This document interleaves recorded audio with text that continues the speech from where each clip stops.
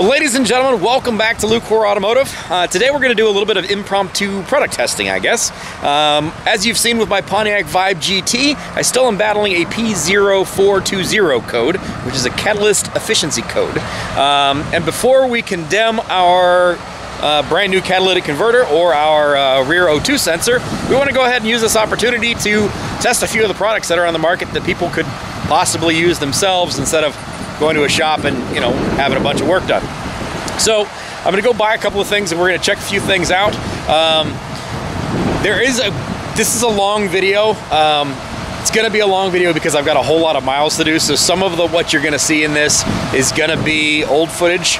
Um, I did fix my VVTi system um, in the middle of this video. So if you see something where I'm talking about the VVTi, Go back to my last video, I already fixed that. So anyway, P0420 Pontiac Vibe GT. can I fix it with just snake oils and random products that I buy at the auto parts store? That's what we're doing today. Hopefully you guys enjoy it. Stay tuned.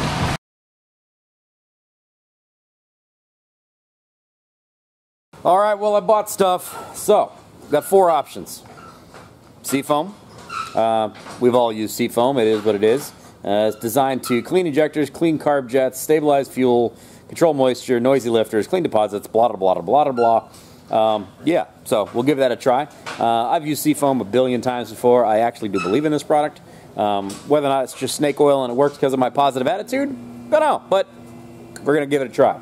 I've also got this product from Rislone, which is Cat Complete Fuel Exhaust and Emission System Cleaner, which we're going to give that a try. Uh, says it turns off check engine lights, clears the P0420 code and other OBD2 codes, which is perfect because that's the code I have. Cleans and restores catalytic converter. Don't really need that, it's a brand new cat, but we'll see. Worth a try. Um, I've also got this Berryman stuff, which looks surprisingly like Seafoam in exactly the same size can with the same style top, but it's Berryman. Uh, cleans entire fuel system, gas tank, intake valve, fuel pump, and carburetor. So we'll give that a try. Probably won't hurt anything. Uh, I don't believe there's been a lot of maintenance been done on this car. Um, so at this point in time, I'm sure all of this will probably help at least a little bit. Um, whether or not it solves my problem with my cat code, we'll see about that. And then I've got this product from CRC, guaranteed to pass. Uh, emissions system cleaner, pass emissions test, or double my money back. Oh, really? Restores performance, reduces emissions, saves gas. Excellent results in both OBD1 and OBD2 testing and promotes a healthy catalytic converter. Again, my catalytic converter is healthy. The question is whether or not it's going to clean up my O2 sensor signal. Um, I don't know. We'll see. So, unfortunately, uh, basically all of these things require me to run an entire tank of fuel through the system to be able to cycle it through. So, um, I'm going to have a lot of driving to do, but fortunately I do a lot of driving. So we're going to try the Seafoam first, and then we'll work our way through it all. So here we go, impromptu product testing. Option number one for getting this thing running correctly and clearing up my engine codes, uh, the always popular and helpful Seafoam, uh, which is cleans injectors, cleans carb jets, stabilizes fuel, moisture control, in fuels, quiet noisy lifters, clean deposits, add lubricity to fuel, lube upper cylinders, de-ice, and anti-gel. Yeah, right? Okay, so the idea here is I actually do believe in seafoam. I use it a lot, quite a lot. Um, I am basically empty on this tank, and it also probably has no uh, premium gas in it anyway. So we're going to put a full tank of uh, 93. We're going to put in a can of seafoam. We're going to drive it about 300 some odd miles to be able to run this thing dry, and then we'll try the next one. And we'll see if any of this stuff does, well, you know, anything. It's kind of handy not having a fuel door. Makes that a little easier. First thing we're to learn is that neck is probably not long enough. We'll see. New funnel. Gonna need another funnel.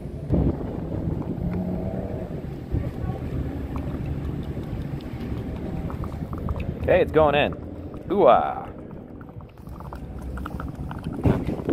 Uh oh.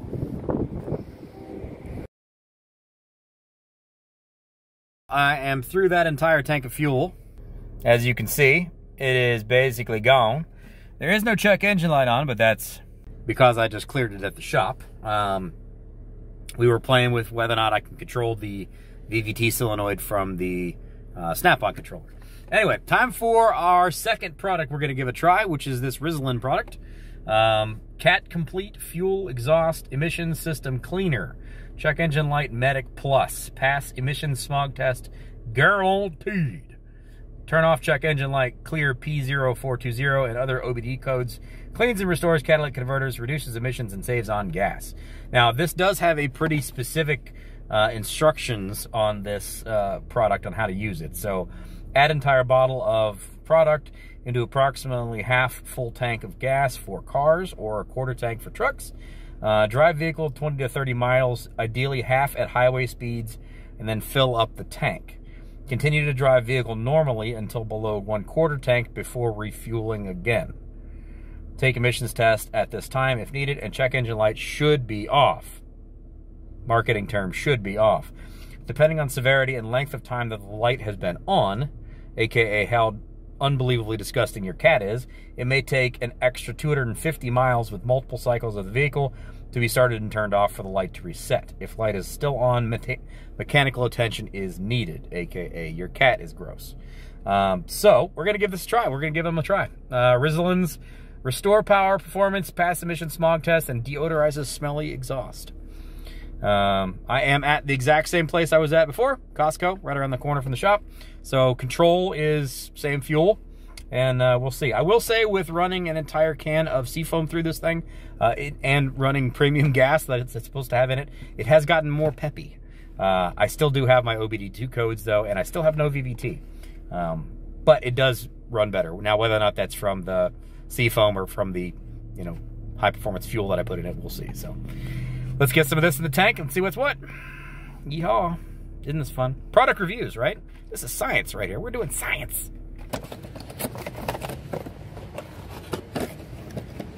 Oh, and it's got this lovely top, which will allow me to put it in my tank easier than the seafoam. Well, point for them.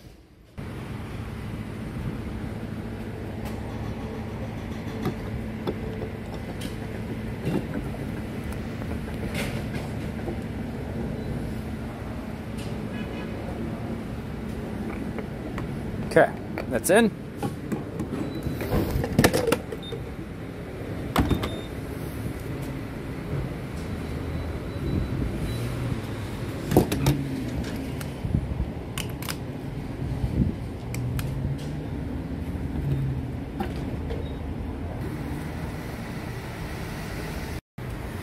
Uh, tank on this thing's pretty small, so I'm going to stick to about five gallons because um, it said to do half full. So we'll cut her off at five gallons and we'll put some miles on this thing, see what it does.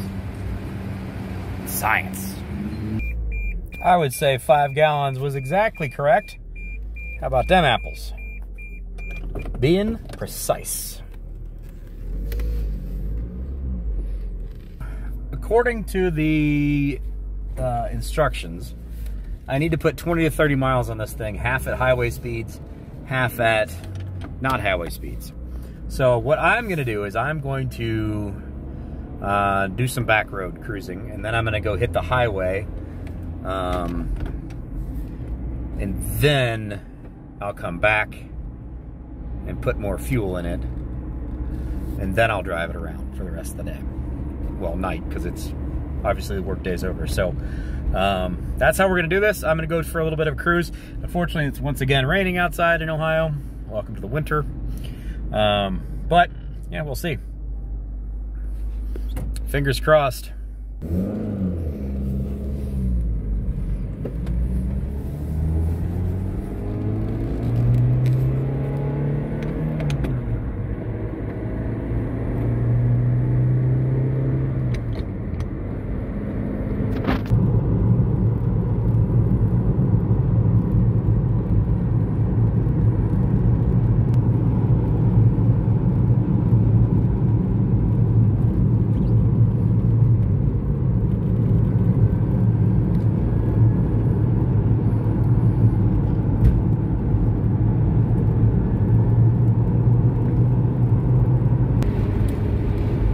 I have completed the back road portion of my driving. Uh, I have done approximately 24 miles of back road driving. I'm going to go ahead and do a little bit of highway driving on my way back to the shop.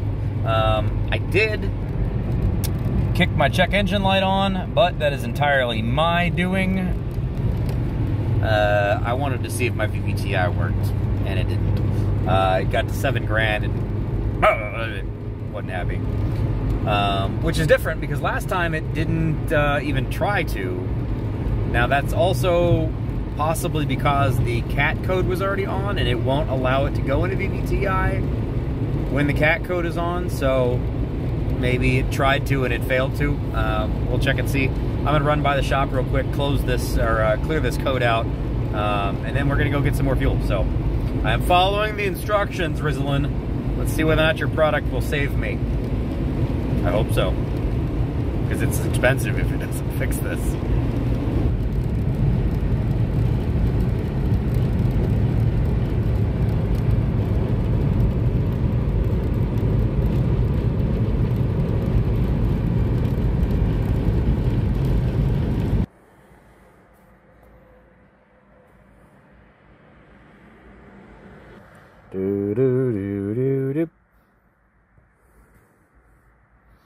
All right, so we have that same P1693 code, variable valve timing, control, or my battery or my headlight. Yeah, it's probably not one of those two.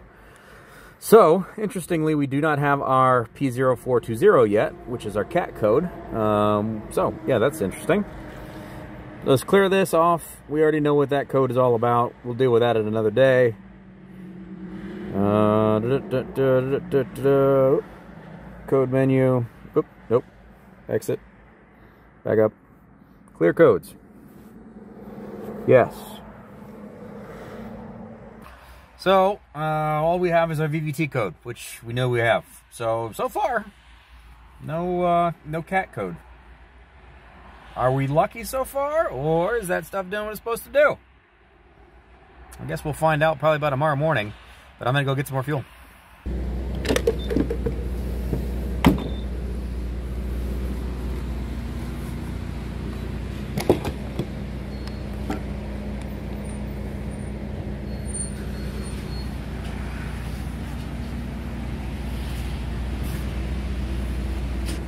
So according to Rislone product, um, put full bottle into half a tank of gas, check. Drive 20 to 30 miles, varying between highway speeds and normal back roadsy speed. Check. So we are now on the fill tank up and drive to below one quarter of a tank. Check. That's what we're doing now. Um, obviously, I'm not going to be able to film that part right now because that's going to be you know two or three hundred miles, which, if you're me, is like a day or two. Um, so once we get this thing filled up, then it's time to put some miles on this sucker. What do you guys think at this point in time? Do you think we're going to have some success here? Do you think we're going to fix it? That'd be cool. It'd be really cool if this fixed my problem. Is Rislone going to be the one that gets it done? Let's keep on testing.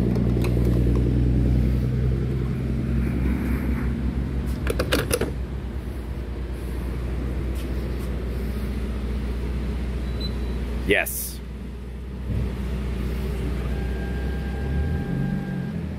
Thank you.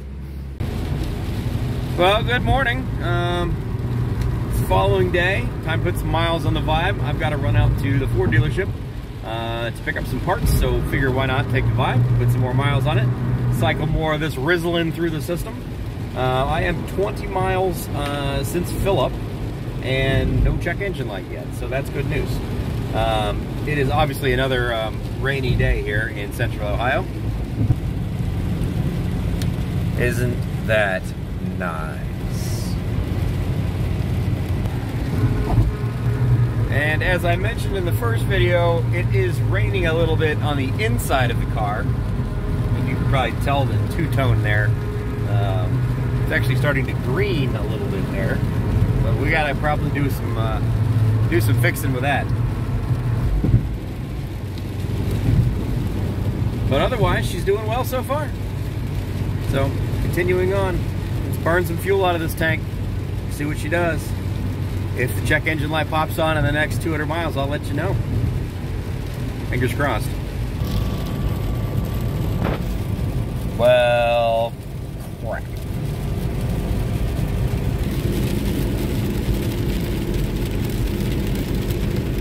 Made it 60 miles. Uh, a little more than, almost 65 miles. Well, got what I needed from the Ford dealership, so let's head to the shop and see what's going on. I'm guessing it's our normal P4 or 0420. Um, but Rislone said that I may have to drive up to 250 miles on the packaging, so we're still we're still on plan. On driving.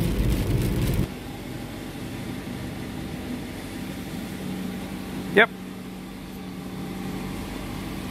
So, same thing, catalytic converter code. Not super surprising. Um, even the Rislone stuff doesn't say it will necessarily fix this issue, just that it'll turn the light off for a little while. Um, but, you know, like I said, it made it uh, like 65 miles before it turned the light back on. Um, I'm going to go ahead and clear it, keep on driving, uh, and we'll see if it fixes it. If not, we've got another one on deck. Well, good morning and uh, welcome back. It's been a couple of hundred miles on the Vibe, uh, but 340 miles so far on this tank. Uh, it is another beautifully gray and rainy day here in central Ohio. Whew, man, this winter's been fun. Uh, unfortunately, the only thing I have to report is that check engine light is once again on. Um, the only time it goes off is when I turn it off. And it only stays off for 30 or 40 miles or so. Uh, if I'm only doing short trips, it tends to stay off longer. Um, but if I put 30 miles on it in one big run, it does come back on and stays on. Um, according to the product details, at least the way I read it, I'm supposed to drive it and it's supposed to turn the light off. Uh, it never has done that. Um, so, eh, you know, it is what it is. Again, we know that this catalytic converter is brand new, um, so it's probably not the cat, um, but whatever. Anyway, so the next product we're going to give a try is the CRC product. Um, I need to get back to the shop to pick it up, and then we're going to run over to Costco, use exactly the same fuel we've been using for the rest of this test, and uh, pour that CRC stuff. As far as what I was reading on the on the label, um, very similar uh, situation with like a Seafoam, where you just you know open the fuel tank, you pour that stuff in, you pour a fuel full a full tank of gas up to 16 gallons, which is way bigger tank than this thing is. And traffic. There's an accident ahead. Oh man. Anyway, yeah, you pour the whole thing in. Um, up to 16, it'll treat up to 16 gallons, um, fill the tank, and then drive it. And it's supposed to do whatever it does.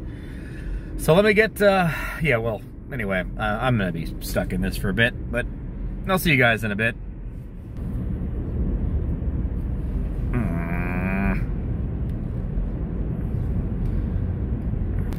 That's okay. It's not like I had anything to do anyway. Grr. We have a huge increase in wealth. And this is what's next. Guaranteed to pass, emission system cleaner, double your money back. Really? Excellent results on OBD1 and 2, testing and promotes a healthy catalytic converter. But we know it's got a healthy catalytic converter. What we're curious about is whether or not it turns off our PO240 code. Um, pretty simple, like I said, treats up to 16 gallons, pour one bottle in, fill the tank, drive it, see what happens. Um, yeah, that's it. Drive until one eighth of a tank or less, refill tank, and take emissions test. Okay. Well, we'll give it a shot.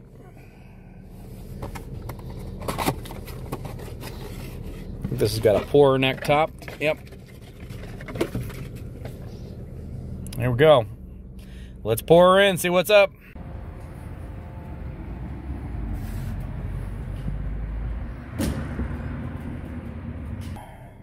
Belly fuel fuel again.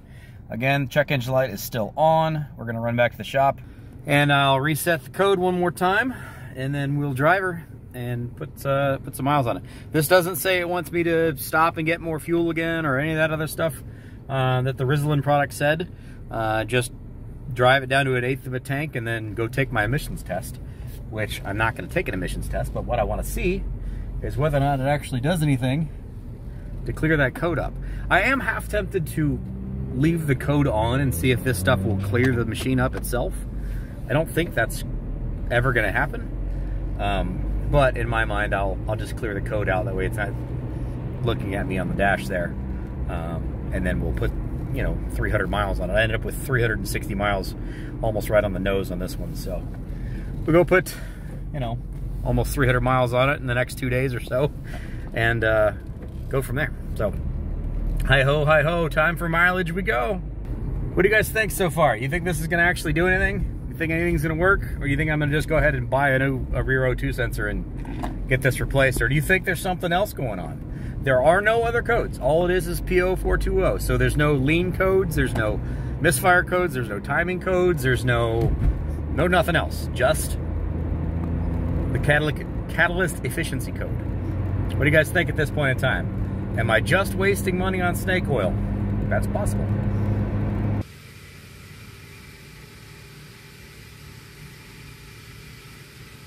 Yep.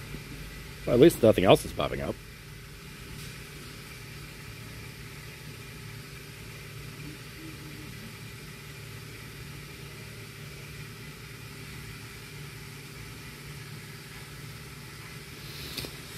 All right, codes are clearing. Let's try some more miles. Well, poop. It stayed out for almost 100 miles. But we're back on and we all we all know what code that is. Well, unfortunately, check engine light's still on. Uh, CRC product's done. Gonna go put my tank of gas in this thing again. I got one more product to try. I'm not feeling real positive here, but we're going to try this Behrmans, as Derek from Vice Grip Garage would say it, Behrman.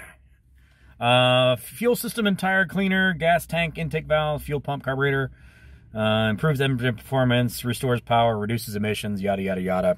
You know the drill. Um, it's not going to hurt anything. It's not going to be a negative thing to run this because we know everything that's in this car is probably disgusting and very poorly maintained. Um, so it's certainly not going to hurt anything, but is it going to fix my problem? Probably not. Worth a try anyway. Let's see what it does.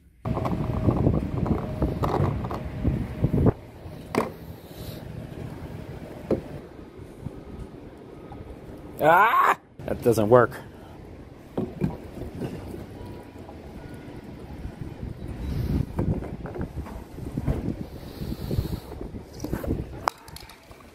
By the way, it's freezing and snowing again.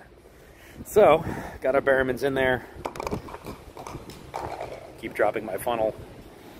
But, full tank of gas, Behrmans in the tank. We'll see whether or not this does anything for us. Fingers crossed. Ugh. What do you guys think? Am I destined to replace my O2 sensor? Or is that high flow Flowmaster catalytic converter just not capable of cleaning up my exhaust enough to not freak out that O2 sensor. That's also a possibility, I guess. All right, on the road, let's put some more miles on this thing.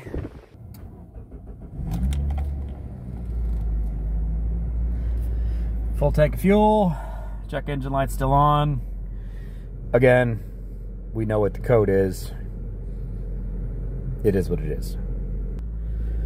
Get back on our scanner. Let's clear that code. Hopefully one last time. You guys have seen me do this over and over and over again. You know how this screen works.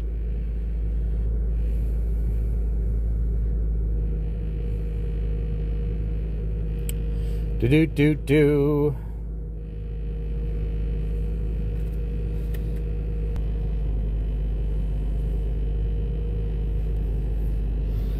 And that's it. PO420. That's it. That's all we got. Nothing else. No lean codes, no nothing. History codes, no nothing. Just the PO420. So we're going to clean this up one last time and hope we get there.